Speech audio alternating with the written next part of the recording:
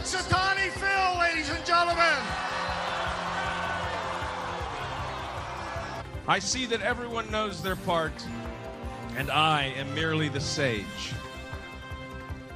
But above all else, I see a shadow on my stage.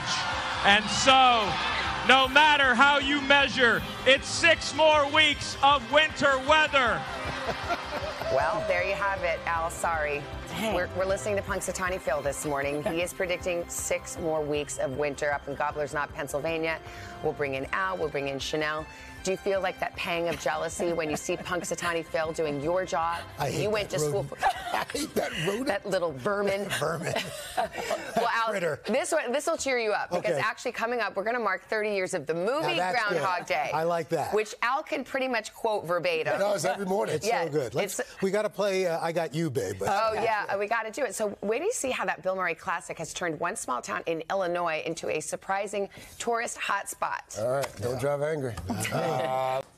Hey, thanks for watching. Don't miss the Today Show every weekday at 11 a.m. Eastern, 8 Pacific on our streaming channel, Today All Day. To watch, head to today.com slash all day or click the link right here.